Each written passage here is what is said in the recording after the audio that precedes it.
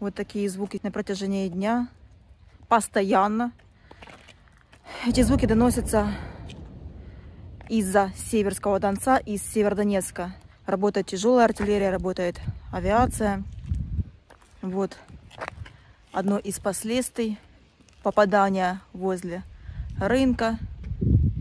И на сегодня, вот вы видите, рынок полностью выгорел. Все модули пострадали.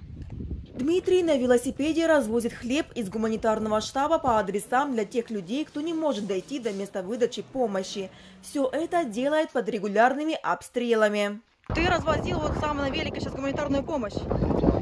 И сколько адресов? Вот каркасы, потом сейчас на новые поеду. Что развозишь? Хлеб, продукты. И как часто? Каждый день. И не страшно? Всем страшно, но надо. Это мой город, мои люди здесь. Мы сейчас поднимемся выше этажами. Вы увидите, что полностью вся девятиэтажка выгорела, как свеча. А это, собственно говоря, квартиры этажами выше. Мы поднялись на крышу жилого дома. Отсюда хорошо виден оккупированный российскими войсками областной центр Северодонецк. Спускаясь, увидели 84-летнюю Елену Сергеевну. Она согласилась показать нам свою квартиру на четвертом этаже. Три дня назад та горела. Вот, заходите, пожалуйста. Значит, окна нету. Заходите, заходите. Окна полностью нет. Это я простыней ребята мне пришли и закрыли на, на эти самые, на гвоздики. Ну, Ну. тут все были люди, пожарники, и все водой обливали, поэтому в квартиру не зайти. Порядков никакого нет, естественно. Темнота, все черное. Вот.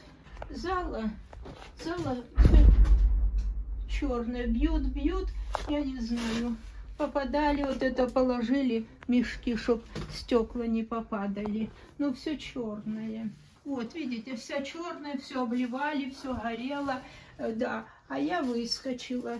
Это я э, была, снимала с этого самого, с матраса всю гадость эту, что падала. Двери все сгорело. Тут даже спать я не знаю, как можно. А как вы тут спите?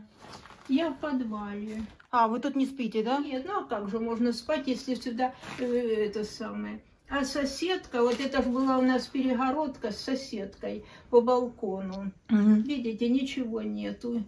Когда это вот все произошло? Днем? Да, днем это было.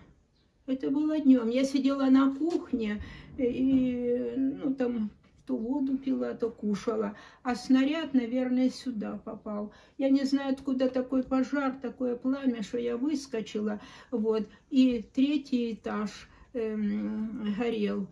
Ну, у нас в этом подъезде со второго по девятый этаж полностью сгорели квартиры.